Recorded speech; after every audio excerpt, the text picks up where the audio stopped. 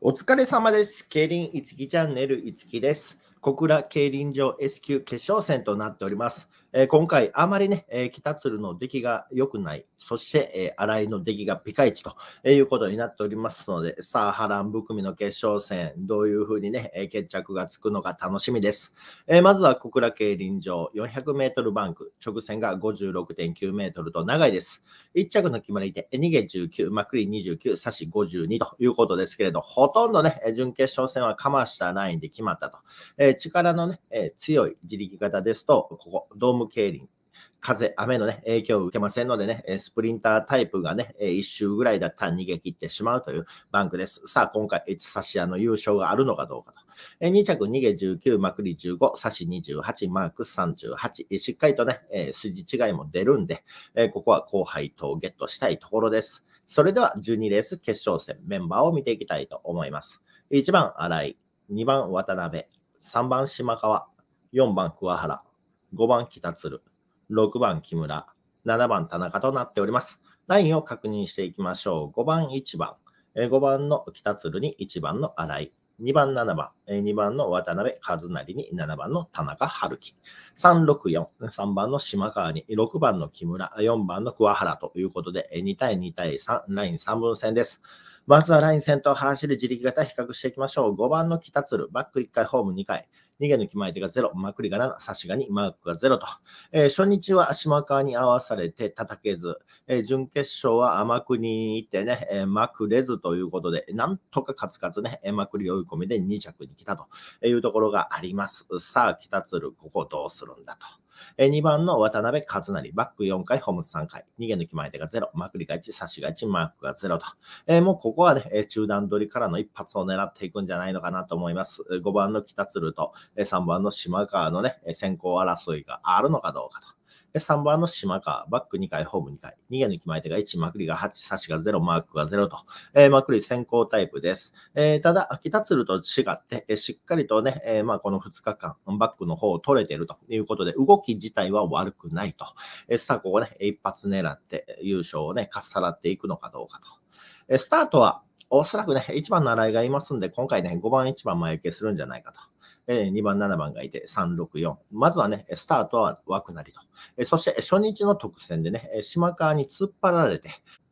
5番の北鶴ね、叩けずということでしたから、え初日のね、え仕返しをしてやろうと思って、スタートを取ってもらう。えそして、ここからのね、3番が上がってきた時の突っ張り先行というのをね、考えておいた方がいいかなと。えそのパターンになった時はね、1番の新井があ調子がいいのと、え2番の渡辺和成が3番手からまくれるというところがありますのでね、えこのあたりをまあ注意していくと。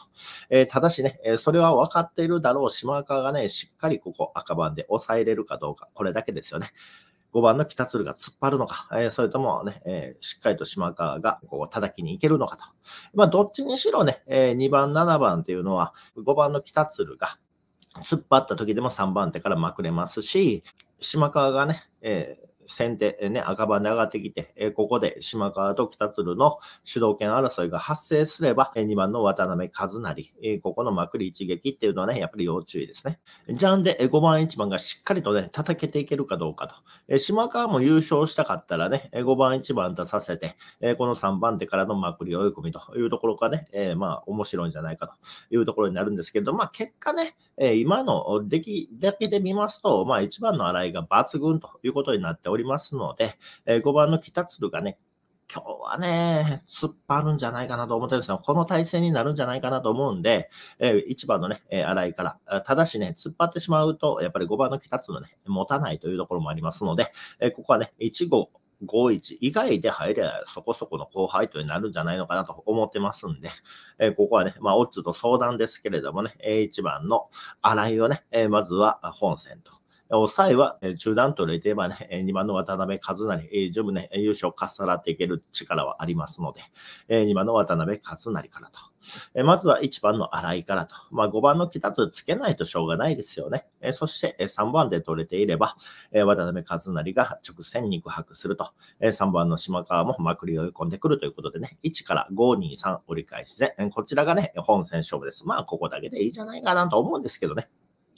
一応ね、1からの抜けということで、6番の木村、あここもね、つけておきます。えそして、え2番のね、渡辺和成が甘くったとき、まあ、7番の田中、まあ、ここはね、え特注ですよね。ですから、まあ、1から5、2、3度、え2772、まあ、このあたりだけでね、いいのかなという気がしますけれどもね、え後輩とがね、えー、出るんだったら、まあ、2番の渡辺和成と、えー、3番の島川の力の両立とか、えー、5番の北鶴とのえー、組み合わせ、えー、6番の木村というところでね、2位から7、3、5、6というね、えー、ところをまあ狙っていきたいと。えー、まあ、北鶴が失敗してしまったときね、えー、荒井、なかなかね、えー、3着ぐらいまでしか突っ込めないということも十分考えられますんでね、まあ、穴もね、開く要素はね、たくさんあると。特に5番の北鶴のね、うん、ちょっとね、出足、スピードがいまいちなのかなというね、えー、ところがありますんで、まあ、ここ決勝戦だけで、まあ、クリアなんでね、ボーンとまくってしまうかもわかりませんけれどね、うん、ここは少しね、腹目というところをね、少し考えて、勝負の方していきたいと思います。最後までご視聴ありがとうございました。チャンネル登録の方もよろしくお願いいたします。